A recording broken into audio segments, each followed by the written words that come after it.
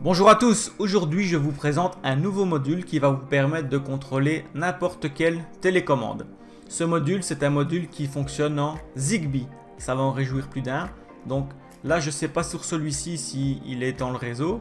Néanmoins, vous pouvez grâce aux 4 relais contrôler 4 boutons d'une télécommande que vous aurez choisi. Donc pour tous ceux qui sont sur du Somfy par exemple, ou tous ceux qui ont des télécommandes en 433 ou 868 MHz qui ne sont pas compatibles avec vos systèmes domotiques, grâce à ce module, vous allez pouvoir l'intégrer sur Zigbee to MQTT, rapatrier ça sur MQTT et ensuite sur JDOM Home Assistant, NextDOM, Domotic, OpenApp, etc. On va tout de suite voir un petit peu la présentation du module et ensuite l'intégration sur Zigbee to MQTT.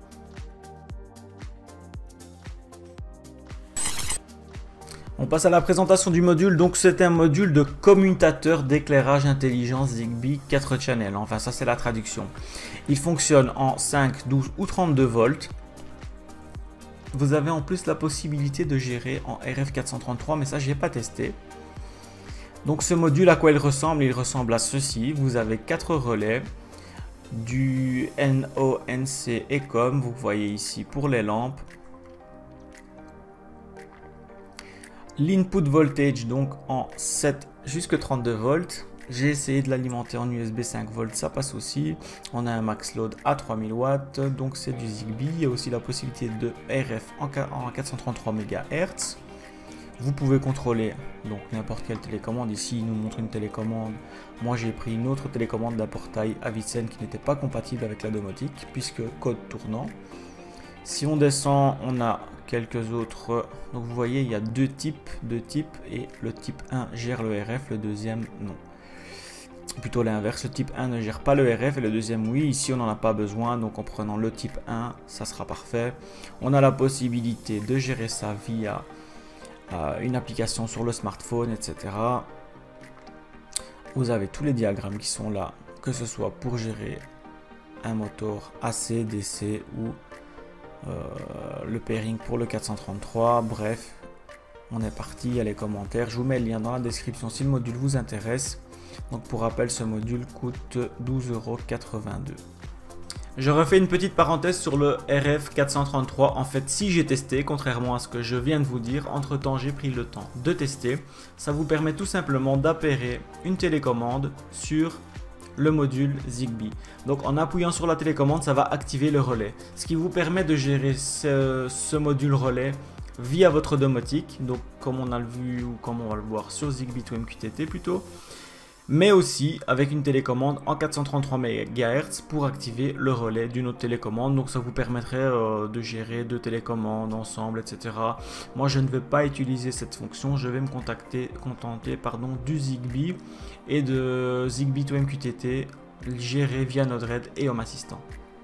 On est parti sur l'appairage de Zigbee to MQTT. Donc comme vous voyez, module, vous pouvez l'alimenter directement via un transfo entre 7 et 32 volts. Et si vous avez euh, la possibilité aussi de l'alimenter directement via un micro USB de 5 volts. Donc moi c'est ce que je vais faire. On est parti. La puce Zigbee, vous voyez le témoin d'état. Si vous faites un long press sur le bouton, vous allez voir qu'il passe en mode appairage. On a la LED bleue qui se met, l'interview qui est faite. Il me suffit de récupérer le module est reconnu sous Tuya TS 3x04. Si je vais dans l'expose, j'ai mes quatre relais. En cliquant sur On, On, On et On, j'active les quatre relais et les quatre LED. Donc ça fonctionne bien. Sur Zigbee to MQTT. Le bouton qui se trouve au milieu, c'est pour passer sous un autre mode de fonctionnement. Donc ici, je vais cliquer une fois. Je clique sur On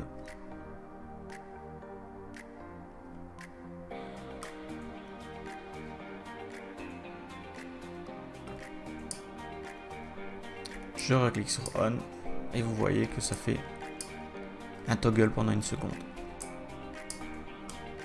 Je remaintiens. On passe sous un autre mode de fonctionnement qui est du on-off tout simplement basique. On est parti pour les premiers tests. Donc vous voyez j'ai mis le volet ici en mode tamisé. j'ai pris une télécommande Somfy qui est appairée à mon volet. Si on la démonte, ça donne ceci. Donc il y a le bouton d'appairage à l'arrière, ça on n'y touche pas.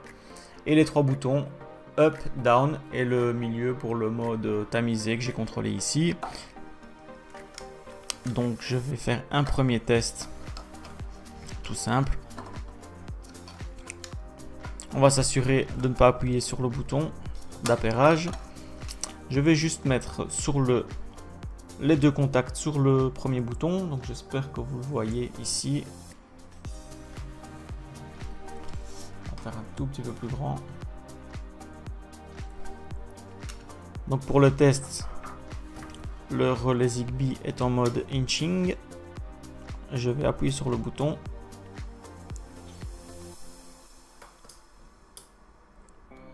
Et vous voyez que le volet descend derrière moi. Donc en fait, il suffira de souder sur mes 4 relais, ou plutôt sur mes 3 relais, les 3 boutons qui se trouvent là. Le dernier pour l'appairage, il sert à rien, c'est juste pour la télécommande, donc ça on n'en aura pas besoin. Mais donc avec un relais comme ceci, vous pouvez domotiser un volet. Et si vous avez une télécommande euh, Somfy RTS qui fait multifonction, donc avec plusieurs canaux, il suffira, pareil, de vous mettre sur le quatrième bouton pour la sélection des canaux et puis de gérer ça avec la domotique pour passer d'un canal à l'autre et de monter ou descendre les volets. Donc ça vous permet pour 12 euros de gérer une télécommande ou plutôt 4 boutons sur X télécommande. Ce module fonctionne bien entendu sur toutes les télécommandes sans restriction. Il faudra juste bien veiller à ce que la télécommande soit alimentée avec une pile et puis souder sur le bouton directement.